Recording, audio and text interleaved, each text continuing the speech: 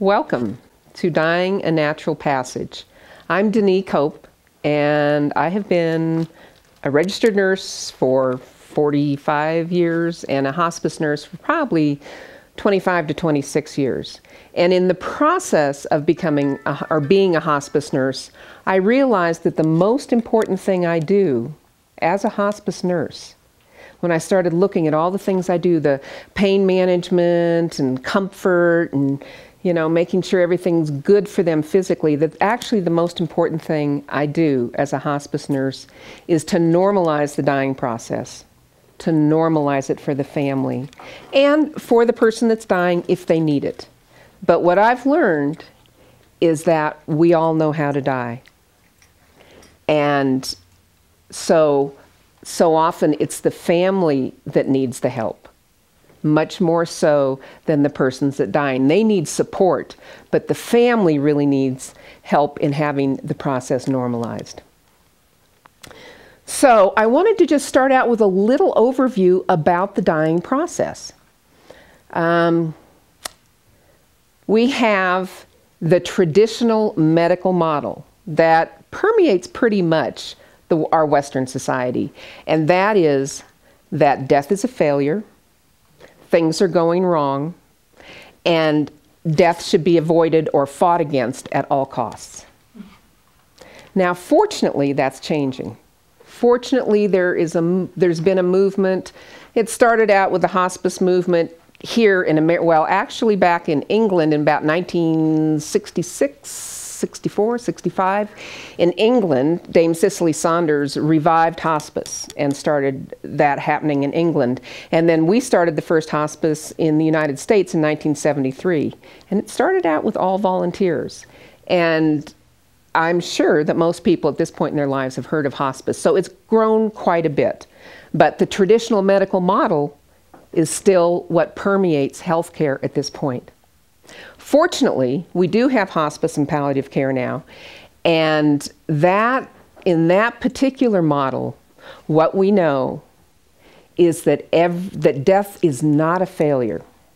Death is not a failure. And everything is going right, not wrong.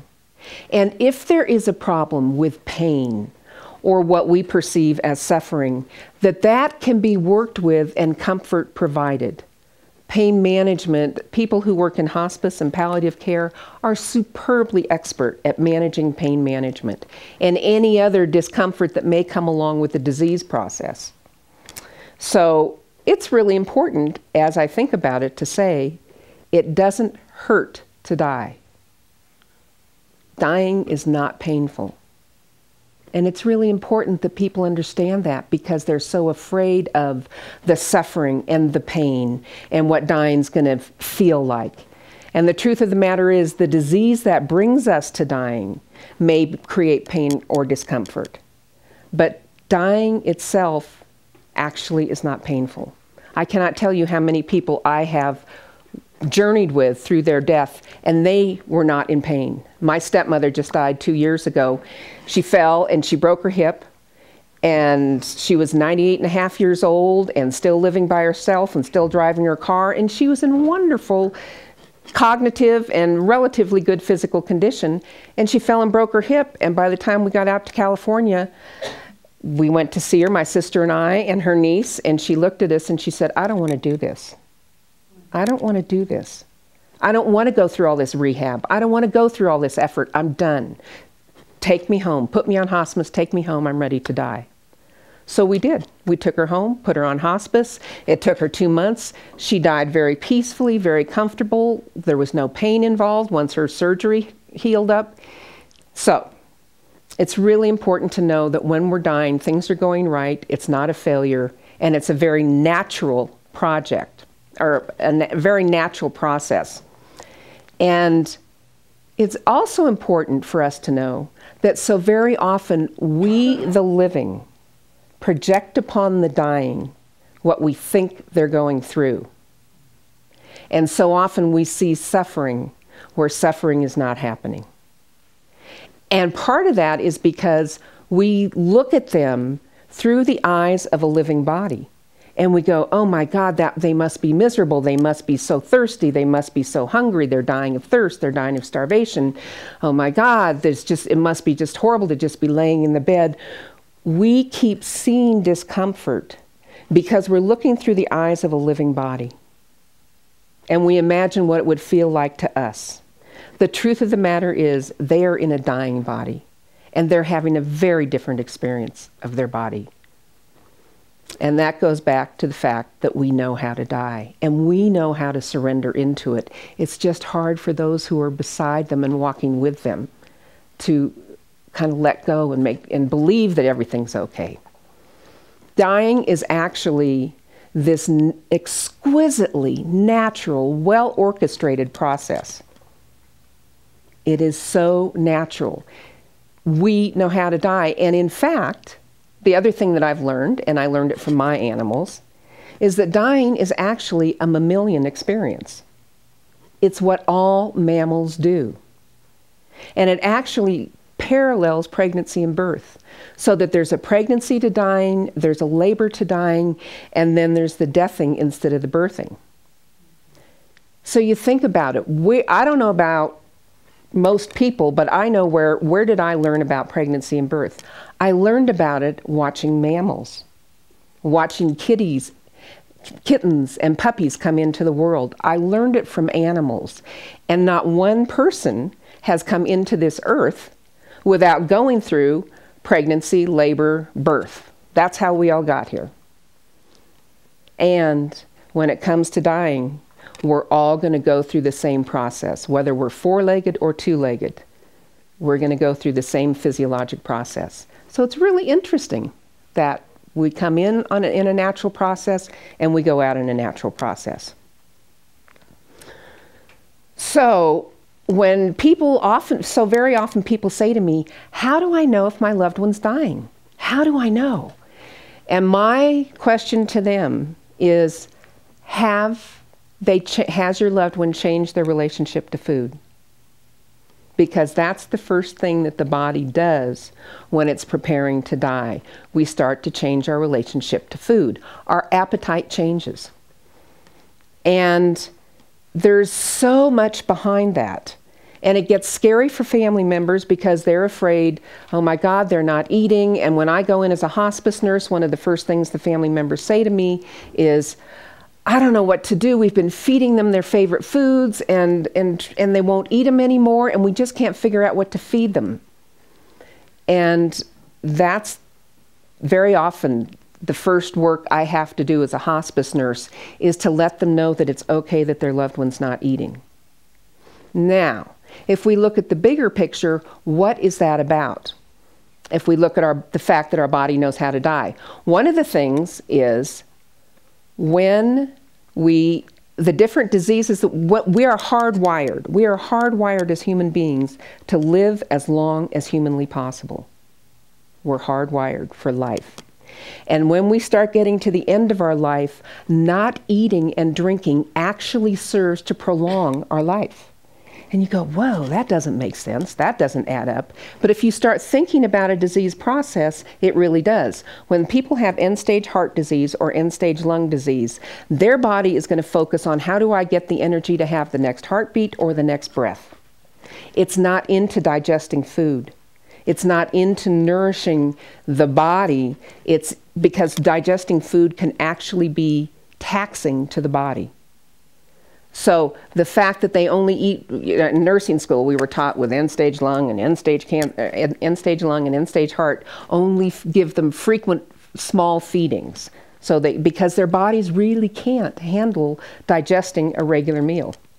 So that's end-stage heart disease. And you'll find with other diseases, Parkinson's, and sometimes just dying when people are just dying, their appetite drops off. That's how the body starts to withdraw from that energy that takes life force energy to, to, um, to support. Now, the other thing, and I'm going to use this information very carefully, and I put it out to people and say, use this information very, very carefully when I start looking at food as related to people who are dying with cancer.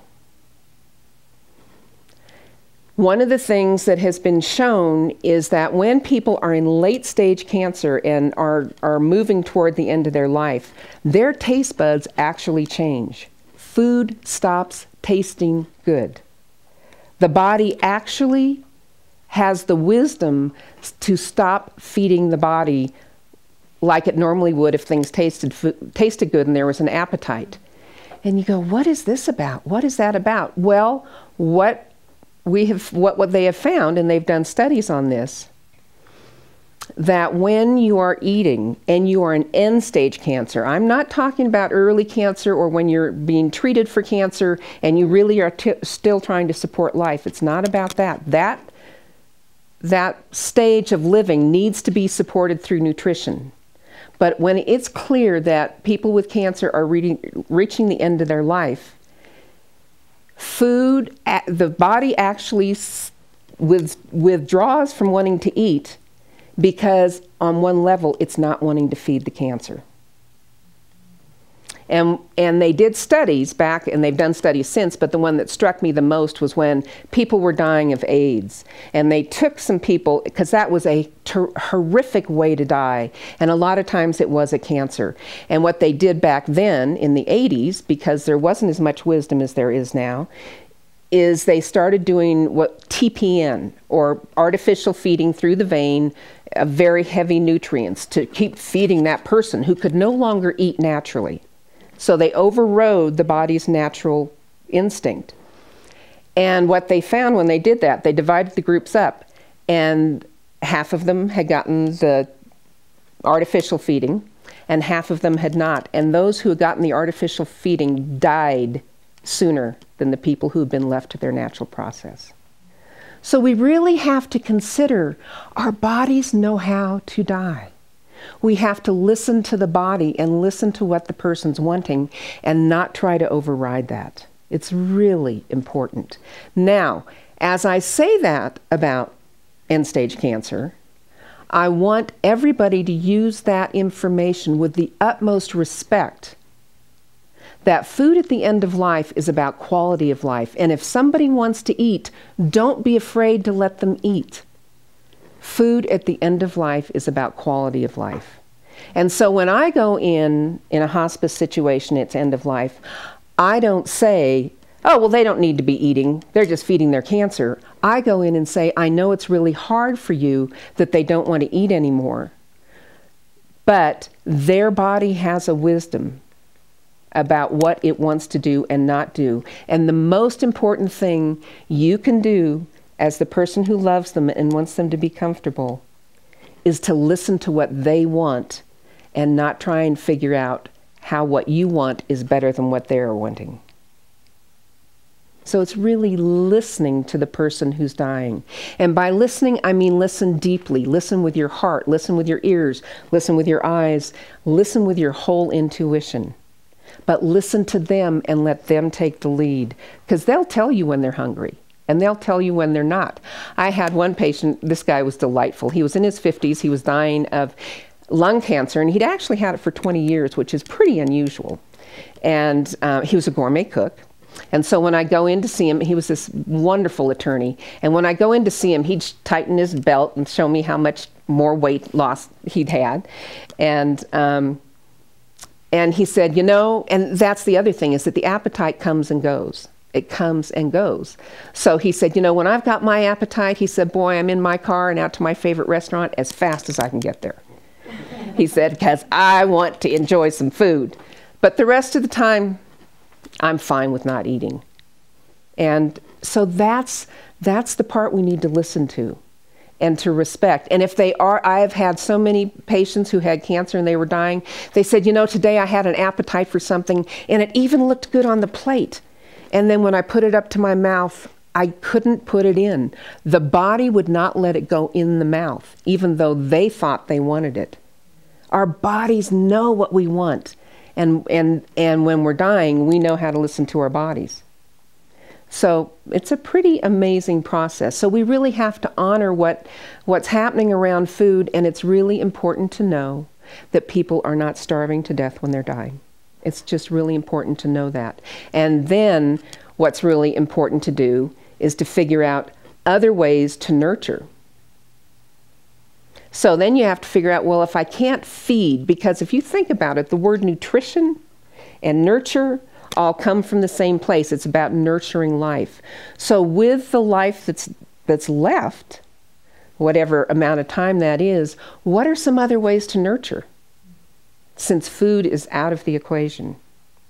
Well, you can nurture through music, you can nurture through touch, you can nurture through going through photo albums and doing life review with people and just going going through memories. I mean, going through those albums and going like, "Do you remember this time?" or "Tell me about this time," or asking people if you haven't known this person for a long time and don't know much about their history, you can say, "So, what were some of the favorite times in your life? What are your some of your most precious memories, things that you are most glad you did?" So, having the music there, some people like to have poetry read to them. Some people like to have the Bible read to them. It's all unique unto the person. Again, listening to them and finding out what's important to them. I, and I always think of this fellow when I when I talk about this part. There was one fellow, and he was critically ill with heart disease in the hospital, in the ICU, IVs going, drugs going. And he said, I just want to go home. And the doctor said, If we disconnect you from all this, you're going to die. You won't even get out of the hospital. He said, I just want to go home. So we said, okay. We, and we were the hospice at the time, and so we said, okay, we will get you home. So we got him an ambulance, they disconnected him, we got him home, and amazingly, he didn't die in the ambulance. We got him home. The only thing he wanted to do was rearrange his tackle box. that was what was most important to him. So we got him home, he got his tackle box rearranged, and he died two days later at peace. So, figuring out what is nurturing that person when you can't do the food. That's what's really important. And one of the deepest ways that we can nurture people is to just be with them. To be with them in silence, to be with them in presence.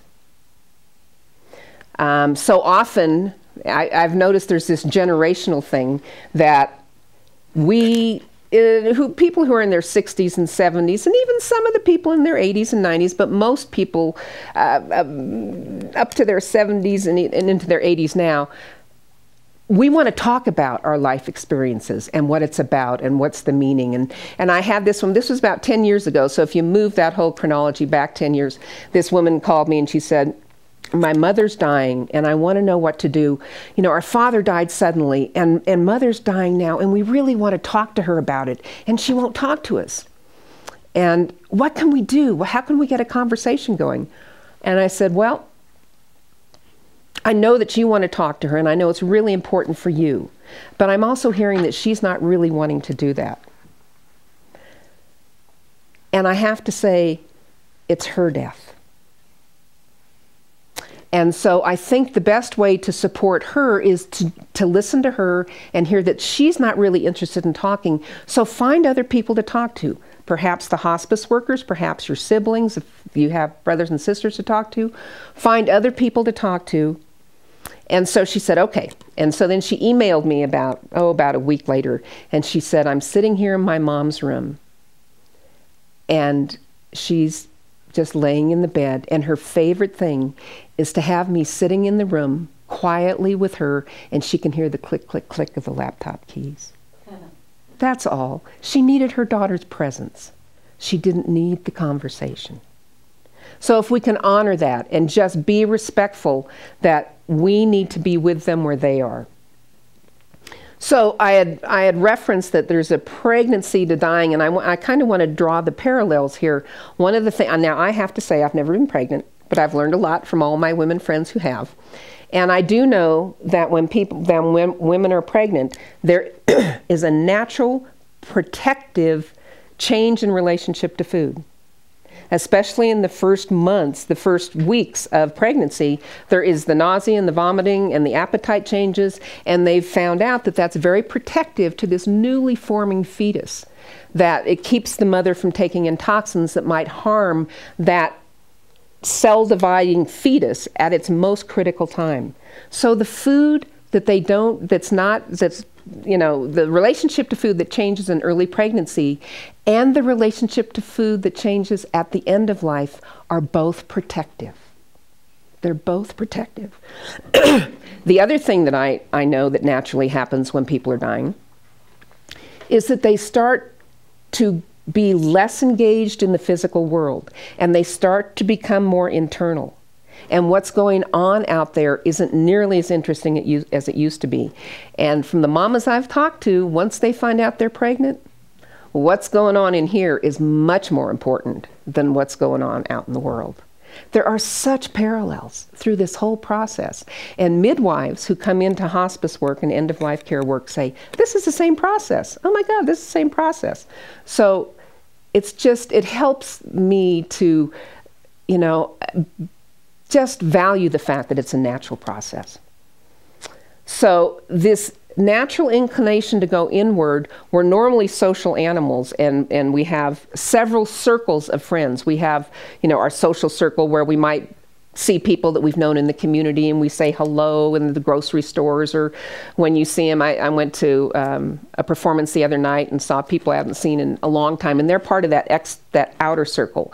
And then we have a, a, closer circle of people that we really are close to and, and stay, spend more social time with. And then we've got that closer circle where they're really our best friends. And then we've got our core circle.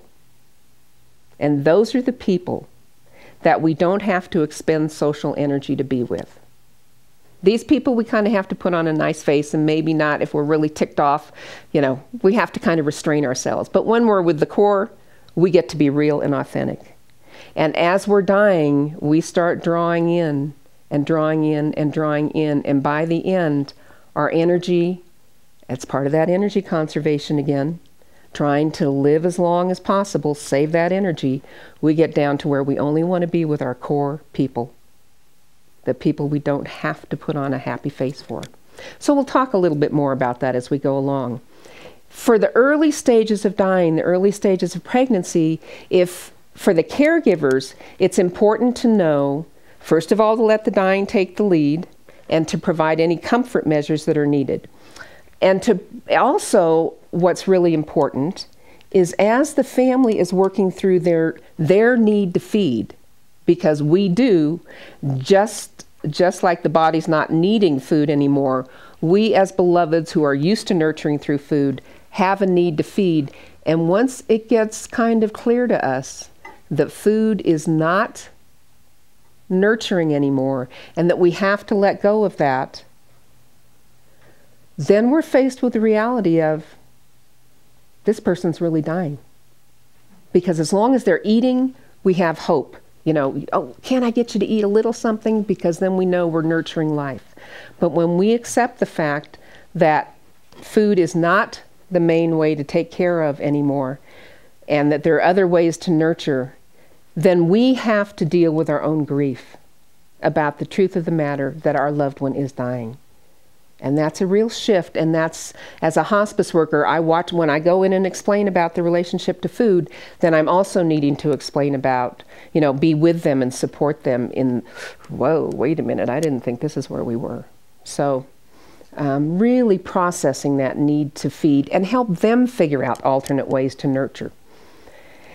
And also at this point, people, once they understand that they're dying, they so often want to explore what does this mean? Oh my God, I'm really counting my life in months rather than years. What does this mean?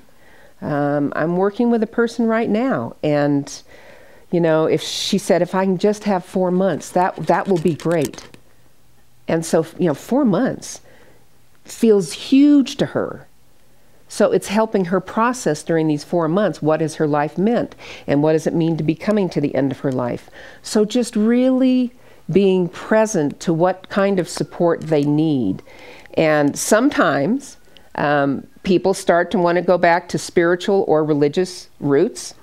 Um, usually that comes up on some level. Sometimes it doesn't come up at all. It all depends on the person's orientation, their belief system. Um, I have seen people who, um, you know, they may not have gone to church for years and years and years, and then all of a sudden, You know, I think I'd like to see a priest now. There was this one, oh, I love this woman. I started taking care of her when she was 99 and she died when she was 101. And she was, I mean, her hair was still natural color. She had, didn't even dye her hair. She was just delightful. And she was, she was being kept alive by injections that kept her anemia from, from killing her. Um, so she decided to stop the injection. She said, I, you know, I'm, I'm done. I'm 101. Let, me out of here. So we stopped the injections, and I said, well, you know, probably be really good if we can put you on hospice. And, and these are the things that hospice can provide. They provide nurses and social workers and, and a physician and aides and a chaplain, and there's all these different people. And so I went down the list, and then I said, so who, who do you, who would you, what do you think you'd first like from hospice? She said, I want the minister to come and hold my hand and say a prayer with me. Hmm. Now, she, I had known her. She had lived in Santa Fe for at least the last 12 years of her life. She had never gone to church. She had never had anything to do with religion. But when she'd been a younger woman and married to her husband back in California, the church had been an important part of her life. And she knew now, in her heart and her mind, she was going to join her husband. And all she wanted was to hold the hand of the minister and say a prayer and it just depends on the on the belief system. I do know that there was um, there was one woman, or who said, you know, I need to see a priest or I need to see a minister. I forget what denomination she was. She said, I don't really believe in God, but I better get right with him just in case. so it comes up in all different ways for people as far as getting getting right with God, it, or for us in hospice, our chaplains are non-denominational and, and what we know is that it's not necessarily religious issues that come up, but spiritual issues. What has been the meaning of my life? What is my relationship to the bigger picture of life? So it's much more of those spiritual, what life meaning questions, though that tends to come up. And so, any issues and concerns, that's the other thing that we deal with this um, as soon as people get onto hospice. And I do have to say, the sooner people get onto hospice, the better. So often people think hospice is for when you're laying in the bed and almost ready to take your last breath. And I really think it's important for people to know that the minute people know that they have a life limiting disease that means their life is probably count, being counted in months rather than years, they need to explore being on hospice because the sooner a person gets on hospice, the more support they can have. And I cannot tell you how many families say, Oh my God, I wished we'd gotten on hospice sooner. We hear that over and over and over.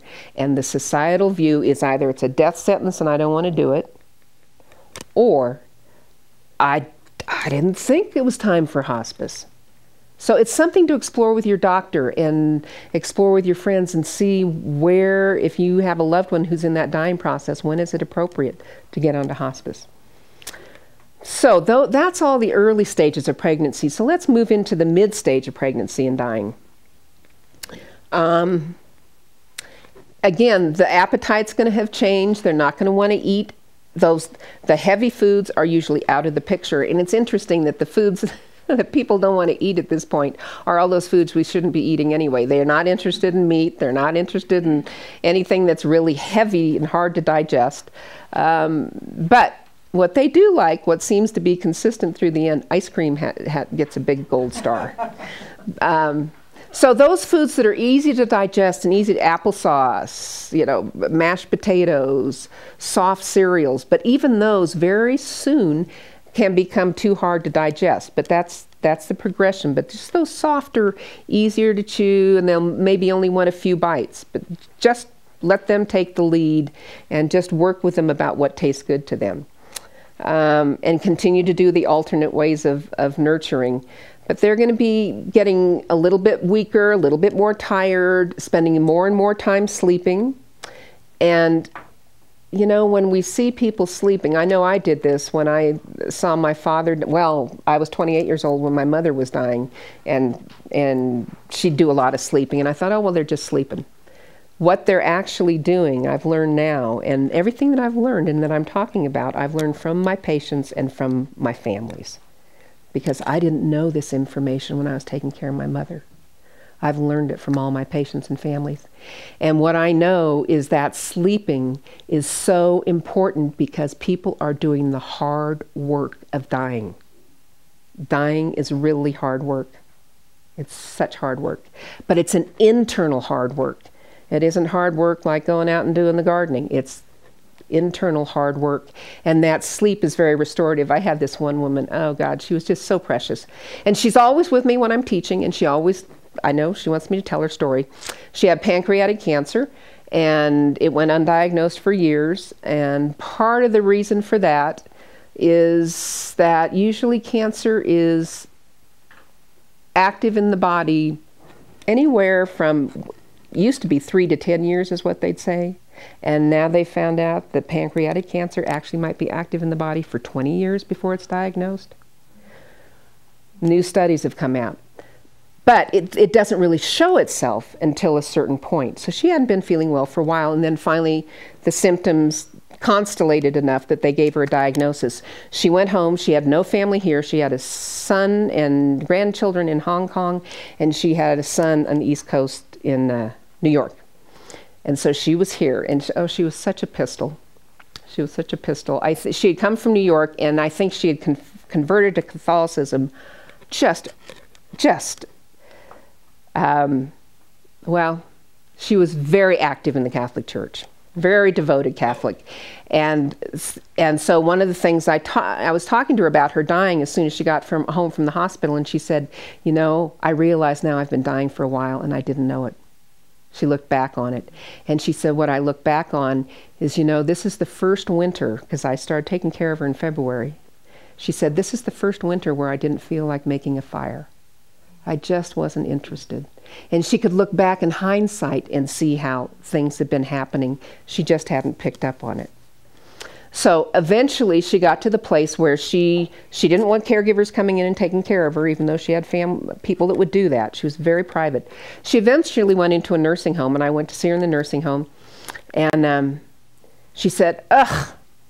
She said, I just, I'm sleeping all the time. I'm sleeping all the time. And so I said, okay, well, maybe it's the medications. And I was a young nurse at that time and really didn't understand the process. So I called her doctor up and I said, is there something we can give her to wake her up because I think it's the meds. And so they gave her some medication that made her more alert. I went in to see her the next day and I said, Well, how are you doing? I was so pleased that she could be awake now. And she said, Ugh, I can't sleep. And I said, But but you were sleeping too much. She said, Oh, but that sleep, it's so important. And she didn't know it until she didn't have it. And that is the last time I tried to correct the fact that somebody was sleeping all the time.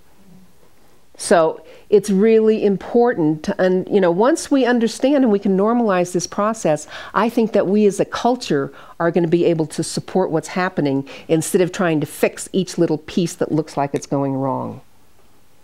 So, again, supporting that decreasing energy and letting people sleep as much as they need to. Now, the other thing that I have learned is that dying happens on a physical, mental, emotional, and spiritual level. It happens on all those levels.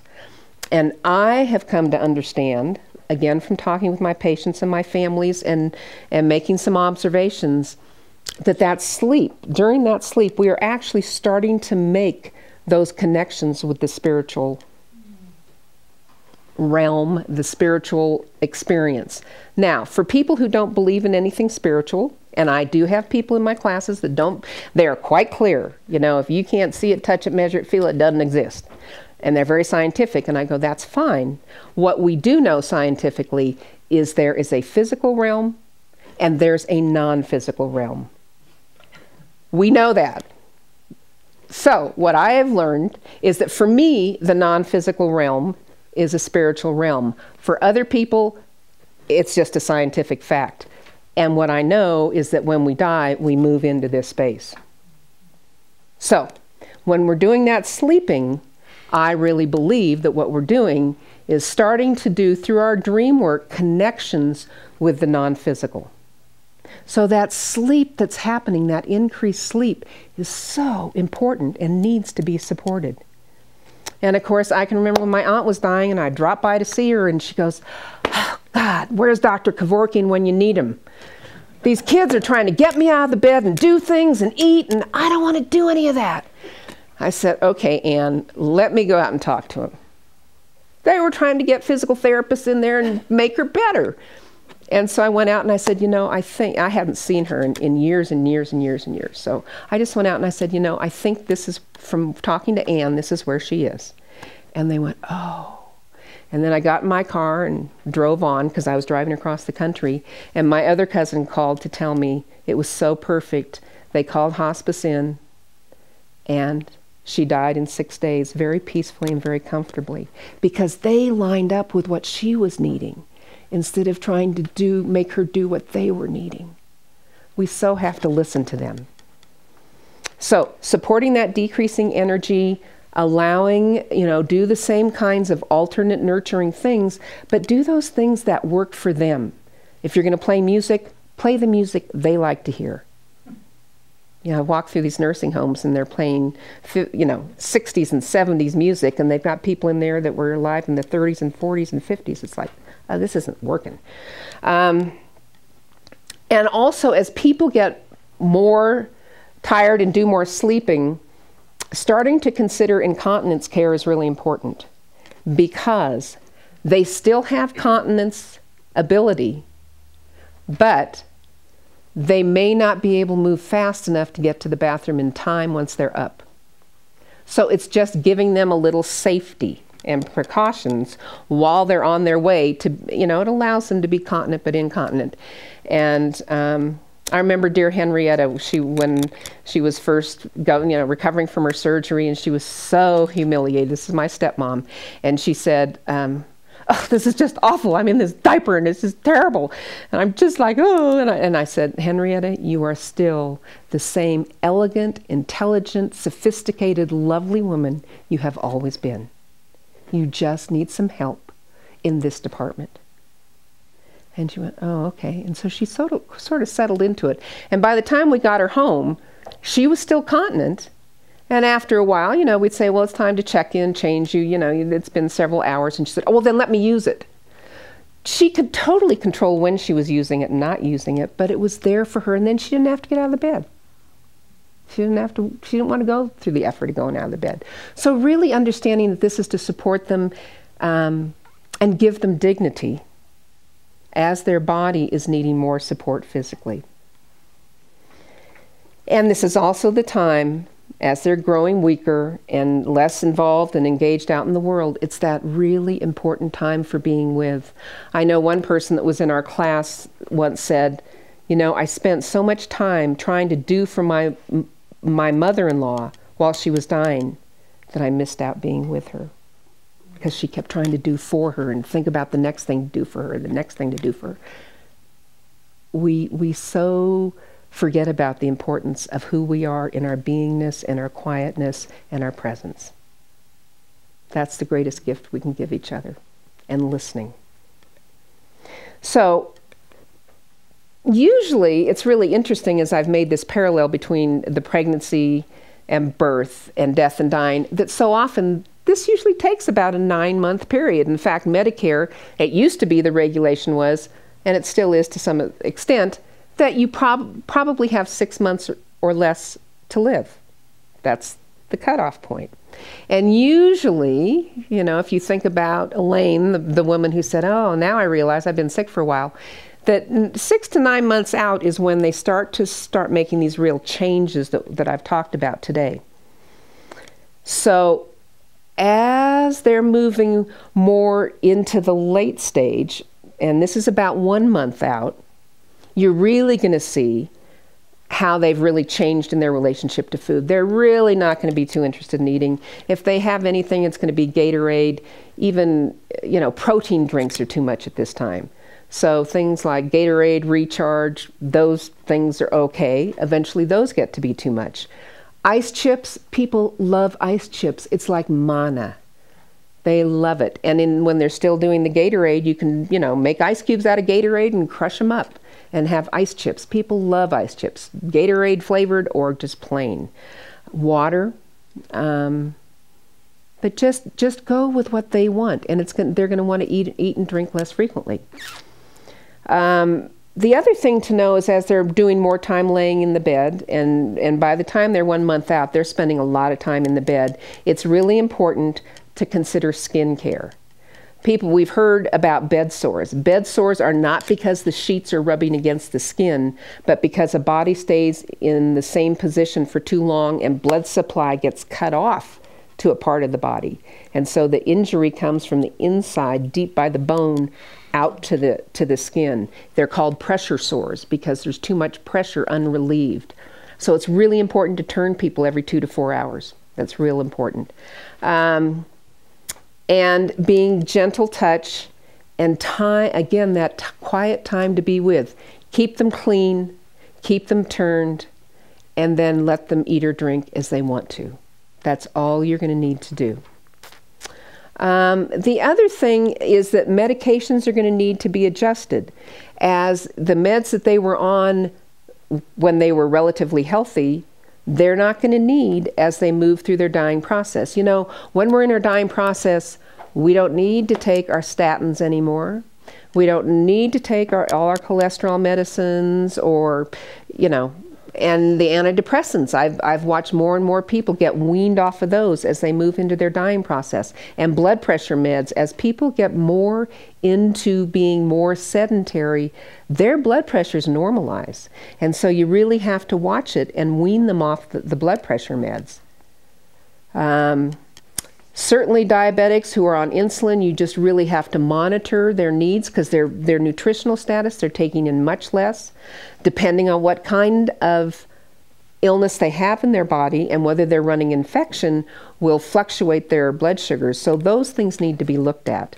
But the medication adjustment is a real important part, and hopefully, people are in hospice at this point, and the hospice nurses and physicians can help adjust those meds as they need to but they will need adjusting and they will need to withdraw to just the core meds.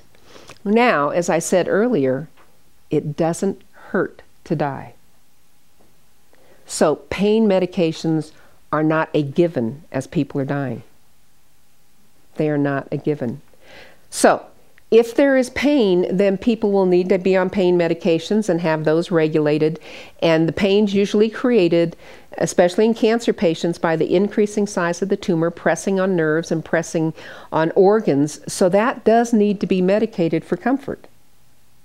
And that's really important to do. And then you have to figure out well, the, usually the pain meds that people get are constipating, so then you have to pay attention to the bowels because they're not eating as much, they're not moving around, and they are taking medications that are creating constipation. So it's really important to stay on top of the bowels. And um, it's not something we usually talk about in our society. It is critical for people's comfort that they have a bowel movement at least every three to five days. It just has to happen. Um, the other thing that can happen pretty late staged is that as people get more and more um, sedentary in the bed, they can get more secretions that build up, especially if they've got a lung cancer or an oral cancer or something that creates increased sec- secretions. They may build up, and so there may be medications needed to kind of dry that out. So, all those things, the symptoms can be managed by meds. The symptoms can be managed by meds, and that's working closely with your hospice team.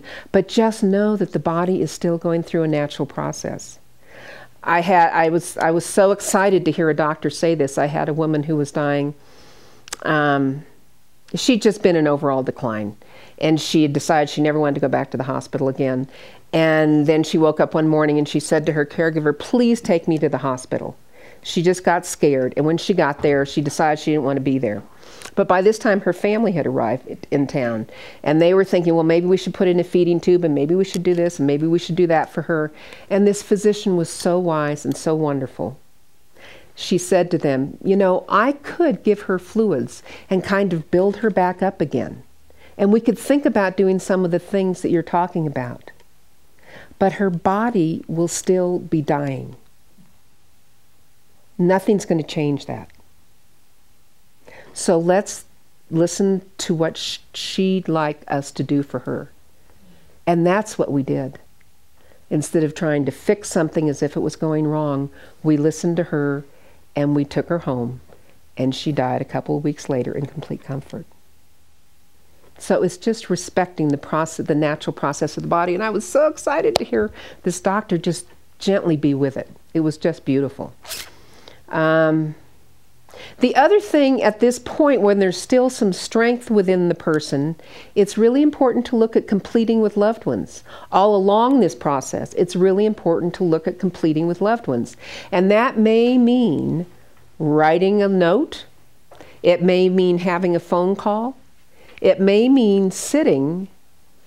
It may be that that person that, that the dying person needs to complete with isn't available to do a completion with them.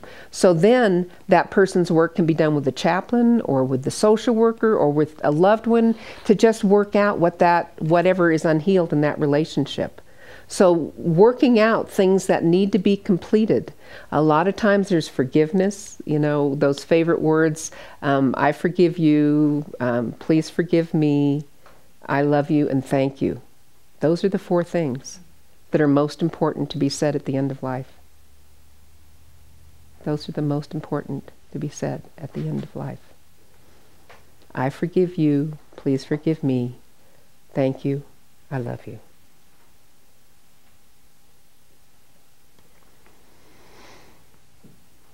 So, um, eventually p- people are going to move into what's called the more there's the late stage of of dying. And it's you know it's kind of you're going back and forth kind of like pregnant women do. They have the braxton hicks and and it's kind of like a false labor. And really when people are in the late stage they look a little bit like they're going into active dying and the labor of dying and they're not quite but they're doing a lot of things that are really really really different. Um, Eventually, their voice is going to get really weak and they're not going to be able to, to speak as clearly. So, having done that, that work that requires verbal beforehand is much more important, and the completion with significant others. Um, and they're going to be one of the things I know that happens at the end of life, and it happens kind of at this point, and then it moves on into the labor stage, is people start to do what we call visioning. They start to see loved ones who have died before. And eh, if people don't understand the dying process, they think people are hallucinating. They think that they're delusional. They get really scared because they'll, they'll you know, I'll, I'll, come into a home and they'll say, they've been talking to people who aren't really here, people that aren't really in the room. And dear Elaine, the one that I was telling you about that went in, that went into the nursing home and couldn't sleep and, and she I walked into her room one day and I said, "Well, how are you doing?" She said, "Ugh, I'm losing my mind." And I said, "Well, what's wrong?" She said, "I'm seeing people who aren't really here." And I said, "Well, are they people that you know or people that you don't know?" She said, "Well, for the most part, I don't know them." I said, "Well, who do you know?" And she said, "Well, I don't, for the most part, know them." That told me she did not want to talk about the people she knew. So I said, "Okay, well, tell me who it is you're seeing." Well, these three young men up there, and she pointed on the wall. And I just said, and this was a woman who loved men and didn't like women very much. So it was perfect. Three young men up on the wall. And I said, and again, I didn't want to put my values on it. So I said, well, are they people that you are comfortable with or are they scary to you? You know, are they distressing or comforting? Oh, no, they're great. They're great. I'm glad they're here. I said, well, you just need to know that you're not losing your mind, that they're really real and they're really here for you as part of your dying process. So enjoy them. Now, I have had, it runs the gamut as far as what people see. Um, people usually see deceased relatives. Sometimes mothers who have miscarried or had a child die very young, that child will come. I had one woman come up to me years ago and said, You know who showed up for my dad? His favorite dog. So animals show up. Um, I, I've had people see um, they just go, Who's that? Who's that? And they would see people or beings that they didn't know. So it runs the gamut, but usually it's familiar people. When my Aunt Anne was dying, um, my cousin said they could feel her husband, my Uncle Red, in the room. I mean, you can feel the presence of these. I don't happen to be sensitive to all this, but I've heard it enough consistently that I know that it's real, it's a real experience. And it lets me know people are getting, when people start saying that they're seeing people, I know they've got about two weeks left in their life. Now, sometimes they can have a lot more time, but that's usually when they start talking about it. I think that they've been seeing him and hearing him for a while, but they just weren't talking about it. And it just gets to the point where, oh, okay, well, it becomes normal. Um, there's a wonderful movie called um, Solace: The Wisdom of Dying, and this this woman, you know, family would come to visit, and she said, "Don't sit in that chair. He's sitting there." And it's like, you know, nobody else could see him, but that was a definite visitor for this woman. So we just have to understand, and that does not mean that sometimes people don't hallucinate, and sometimes they do get confused and are not in touch with reality. But it's very clear when that's happening, very clear. Um, like with Elaine, when she could carry on a perfectly normal conversation, she was just experiencing something I couldn't experience. When people are hallucinating and seeing things, they make no sense in their conversation whatsoever. And that's the difference. And then that may or may not need to be medicated. And again, it's a medical decision. But the actual visioning, people are not hallucinating, they're not delusional, and it's a normal part of the dying process. It's just an, it's part of the spiritual or non-physical reality of dying. Um, so it's really important to support that. So when that starts to happen, they're about ready to move into the labor of dying. So what does the labor of dying look like? Well, labor in a woman who's about ready to birth the baby is marked by rhythmic changes in the uterus. Labor in dying is marked by rhythmic changes in the breathing. Now, most of us have heard of sleep apnea. We know that that means that people stop breathing or take pauses in their breathing when they're sleeping. So, what happens in labor, in the labor of dying, people are going to breathe, breathe, breathe, and then have a period of apnea. And breathe, breathe, breathe, and have a period of apnea. And this is not when they're going to stop breathing. It, it, people, I cannot tell you how many people have written to me and said, "Thank God for your book. It made it normalized this process, this phase of the dying process." This one ER doc said, "You know, I'd watch people die. I didn't know that this, and they died suddenly and traumatically." And he said, "When I read what you wrote, and I realized this is just a stage. This is not when people are going to stop breathing." But because there's these big pauses in the breathing, people go, "Oh, he stopped breathing. He just died." No, that it's just the labor. It's just a phase. They're going to move through that and move into other breathing patterns. So just know that this is the labor. That the breathe, breathe, breathe, no breath, breathe, breathe, breathe is very is part of it. And there's nothing to fix. And this can last from a couple of days to a couple of weeks. It can go on for a long time. And during this time, I believe, and, and, and, I believe that when they don't have that breath, they've actually kind of left their body, left the physical body, and they're in the non physical realm. And there are some people who can see energy fields, and they have confirmed that when people don't take their breath, they they can see the motion in their energy field. I know when my dad was dying and he was in the hospital room and I was trying to talk with him, he would go into the apneic period and I just out of experience, because he was talking, and then all of a sudden he'd do no breath, and I tried to wake him up and get him to respond, and he was just staring ahead, would not respond, and then he'd take a breath, and then we'd resume the conversation. So it's like, not there, there, not there, there. And I do believe that it's part of that traveling that happens because we are getting, they're getting ready to eventually just be here. And it is this breathing that sets it up for us to do that. And the other thing, if you think about it, if you think about it, um, if we've done that much traveling between the physical and the non physical realm, when we finally die, it's not an unknown. We've been spending time there. And it's real easy to move on over into that energy place. And the other thing to think about, you know, that not eating and drinking? You know, if we don't, if, if somebody decides not to eat or drink for maybe a week, it's a process that we know about that's called fasting. And if you think about why do people usually fast? Well, they fast either to cleanse or to have a spiritual experience, to prepare for a spiritual experience. The Native Americans who go on vision quests fast for three days before they go on their vision quest or during the time they're on their vision quest. The people who go into monasteries on retreats fast. So many of the religious traditions do fasting as part of enhancing the ability to connect spiritually.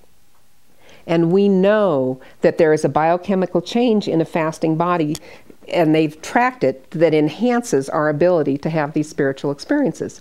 Isn't it amazing that the human body, in its dying process, naturally goes into a fasting state that supports the dying process. Isn't that amazing? And usually, what happens is people will have withdrawn from food and fluid by the time they're in the labor of dying, and that they actually refuse to take in food. They lock their lips. Either they can't swallow it because these muscles have gotten too weak, or they will not let you put food in. They will lock their lips or spit it out. And so, usually from the time a person starts refusing food, it takes about five days to die. Now, I have seen it take longer. I have seen some people take three weeks to die. I have had some nurses tell me about people taking six weeks to die, but they they had held excess fluid on their body because of the lymphedema or the excess fluid that had collected on their body, and they were drawing from the fluid in their body, kind of like a camel does. So it's hard to predict. It's hard to predict how it's going to work, but the natural physiology is withdraw from food and fluid. It supports supports this spiritual or non-physical experience. It supports our bodies doing that. It creates comfort. It enhances the experience of the person. I actually had a, a physician with a person who was very close to death come in and speed up her IV and she started getting restless and uncomfortable. And I, I walked in, and the nurses on the unit knew, and I said, Oh dear. And so I called the doc, and we just talked, and I explained. He said, Oh my goodness, I had no idea. He came up, he slowed the IV down. She got to go back into that state that was an altered state of physical reality. So just understanding that uh, this whole process supports us to get it, to get out of our bodies. Um, so there will be the breathing, the, the, the rhythmic breathing. The, by this time, they're not usually talking so much, and they're certainly not interested in eating and drinking, and they're mostly laying in the bed, doing this in very deep internal process, and they need the comfort of the turning and the cleaning and being left in peace. When you walk into a room at this point, you can palpably feel the peace in the room. It is so amazing to feel. Um, so then what's going to happen? That can happen, like I said, for a couple of days, or it can happen for a couple of, a couple of weeks. But eventually they're going to come to a place of doing what is called the transition phase. Now, when a woman goes from labor into birthing, and again, I've never birthed the baby, but every woman goes, oh, yeah, that's what happens. By the time you get to the end of labor, there is this intense restlessness and moaning and groaning, and it's like, my God, if this child doesn't come out, I am going to jump out of my skin. The same thing happens when people are dying. They have gone through the labor, they've gone through the physiologic changes, and all of a sudden they move into this place bo- at both stages, at the beginning of life and end of life. It's called the transition phase.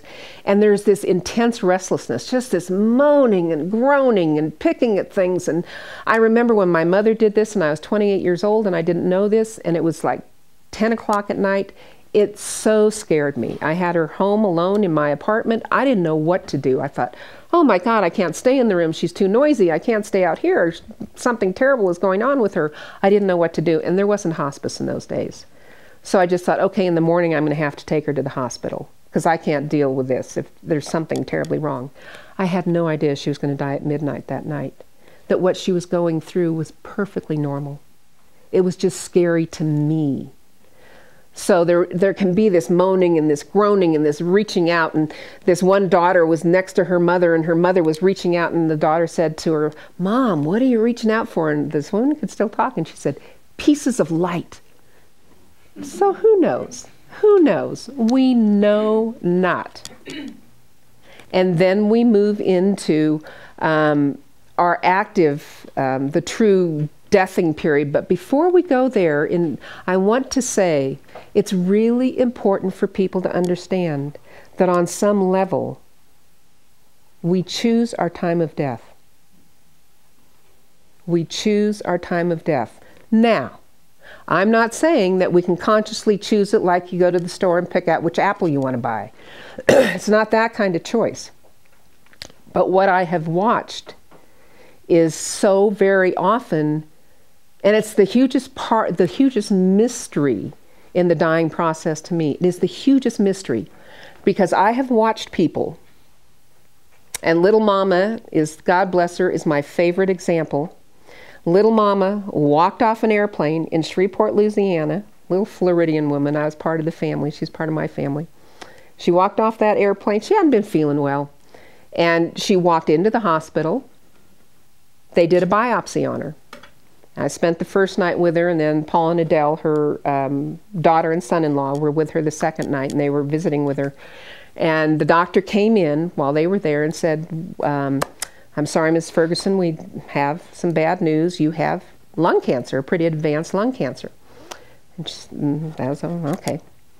So that night, Paul and Adele got ready to leave, and they said, Good night, little mama. And she said, Goodbye, darlings. And they said, Well, little mama, don't say that. Say good night. And she said, Goodbye, darlings. That was about 10, 10.30. At midnight, little mama was fine. At 12.30, the nurse went back in and she was dead. So, what a mystery. How did she do that? Little mama. And I have had other patients who so wanted to die. And they had been in their dying process for such a long time. And my favorite one here is Ferd. Um, and he again was one of my favorites. And he, he was this big raw bone Texan, and he had, um, he actually had bone cancer, and his whole spine had collapsed, so he's paralyzed from the waist down. And he was he was in the bed. I think I met him in October. He was in the bed by November, and and he declined over those over those months. And he said, you know, I'm ready to die. He said, I'm not ready to die yet. Uh, my birthday is January 21st. He said, but after that, I'm ready to die. We said, okay. So January 21st came and went, and he had not died. And he had not died. And for months, he had not died. And he was so frustrated. He said, Please get me out of this bed, drag me to the garage, turn on the car, get me out of here. Why he couldn't die, and little mama, little pistol packing little mama, could get out, I know not why. I've watched other people, oh, I had this one woman uh, who lived up in uh, north of Santa Fe. She was just wonderful. It was her 50th wedding anniversary was coming up, and they'd celebrated it early because they knew she probably wouldn't be able to do it on the day. And the the morning, uh, one morning she woke up and she said, "Hitos, today's the day. Today's our anniversary." And they said, "No, Mama, it's not till tomorrow." She went, "Ugh," and she had to wait a day to die. And she died the next day. So I've watched people wait for that special occasion. I've watched people wait for a certain person to walk in the door. I've watched people wait for a certain person or everybody to walk out of the door.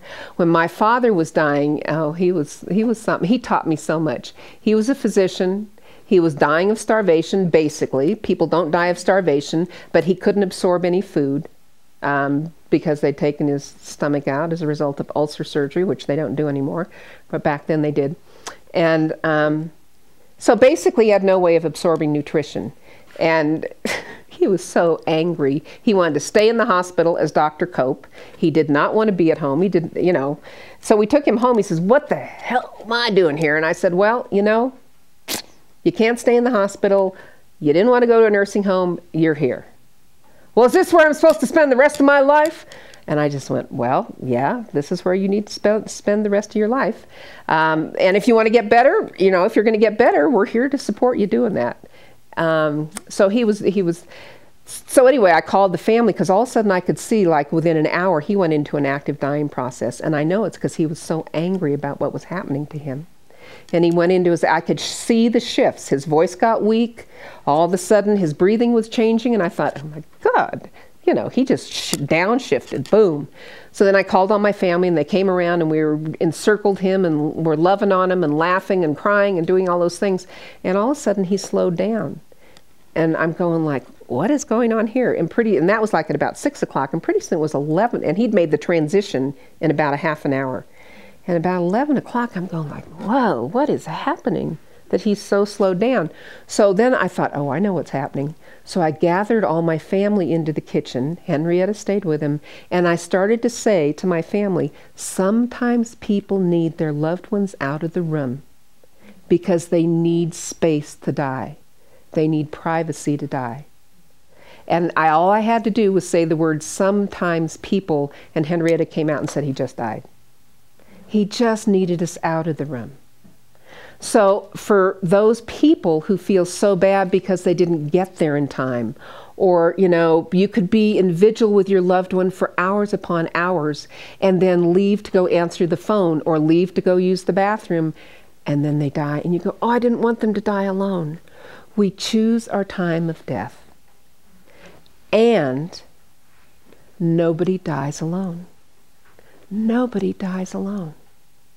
All those beings that knew us before, that love us, and have preceded us on some level they will be there for us i tell people if you die out you know if you're lost in the woods for five days and you die out there you will not die alone you will have beings show up for you and you will be escorted and i have learned that from my patients and from my family members who constantly tell me about who's there for their loved one.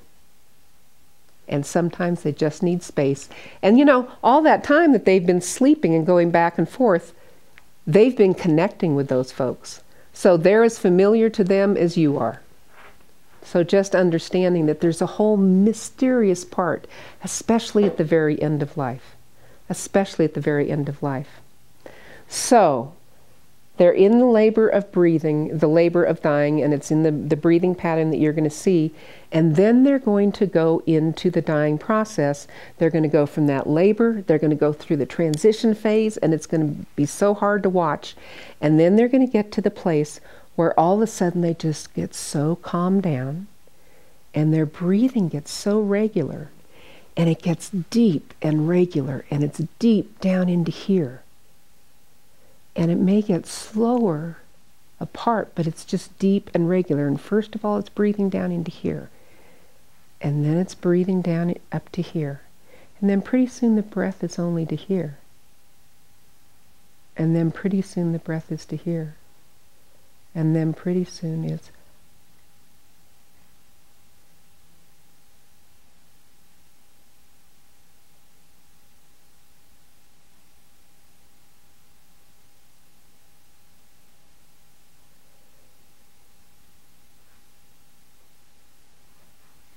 That's it. That's dying. And if you're in the room, you can feel the energy in the room shift to a deep presence.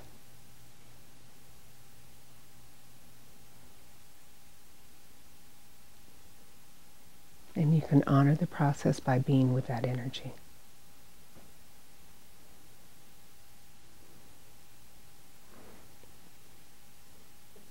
Now, what will happen is for beloveds who are there, there's going to be emotions that come up. But that person, that being who has just moved into the non physical realm, is still present. They're still present in that room. It's like having an out of body experience, only you don't get to come back in. And any out of body experience you've heard about, they will tell you I could describe who I was or what I was with. The surgeon said, yeah. And then they come back in. I said, you know, I heard you say this and you put this there. And yeah, you're right. So there is an ability to observe from here and, and then people get to come back in. When we die, we're out here. We're just not coming back in. So we in the room need to truly honor that that person's still here. And yeah, you're going to cry. You're going to be emotionally upset. That's understandable.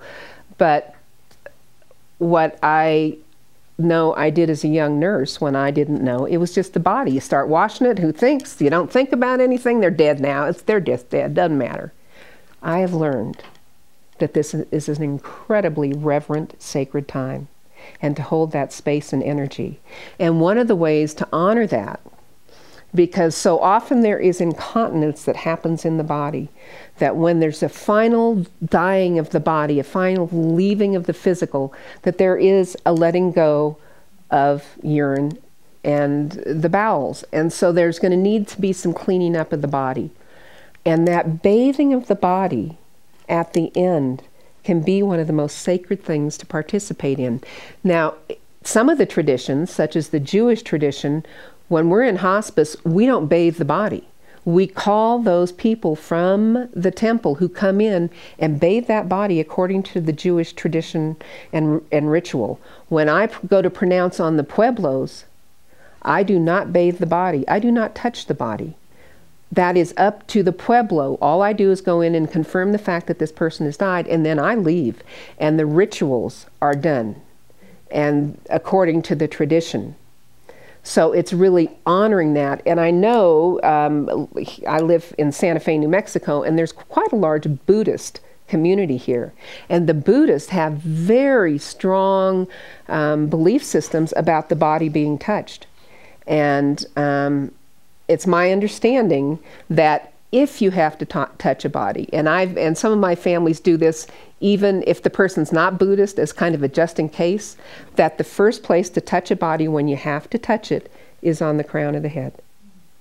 Because there is a phowa that the Buddhists do, and that's where the that's where the soul leaves from is out through, through the crown of the head. And if there's touching other parts of the body then that can interfere with going up to hopefully to enlightenment um, and but what I've experienced here, when people are truly deeply Buddhist, they don't want the body touched for at least three hours or six hours if it can happen.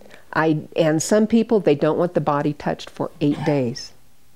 And there's ways to handle that because the funeral homes here will come and without touching the body, they will pack the body in dry ice and keep it, you know, kind of cool down to where that's okay the important thing when you're present with somebody who has died is to know what their tradition is and to know that ahead of time.